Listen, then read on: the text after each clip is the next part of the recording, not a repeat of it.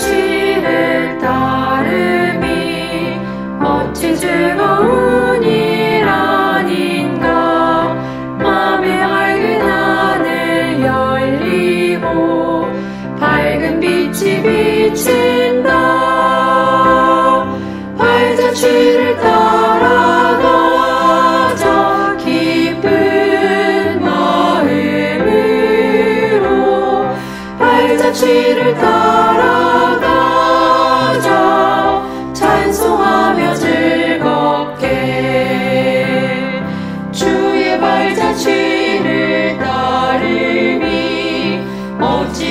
행복한 일 아닌가? 마음의 악한 생각 사라져. 밝은 마음 싹 튼다. 발자취를 따라가자.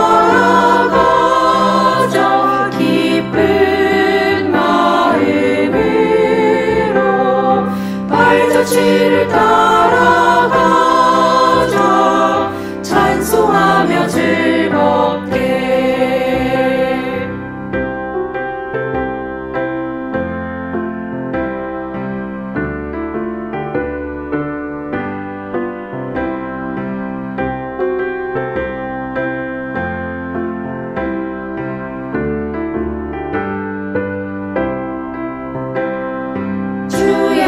발자취를 따르미 어찌 든든한 일 아닌가?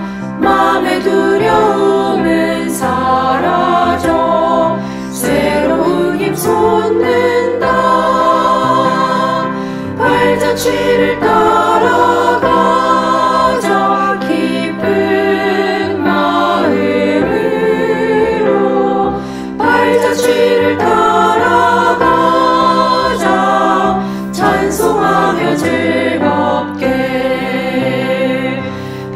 발자취를 따라가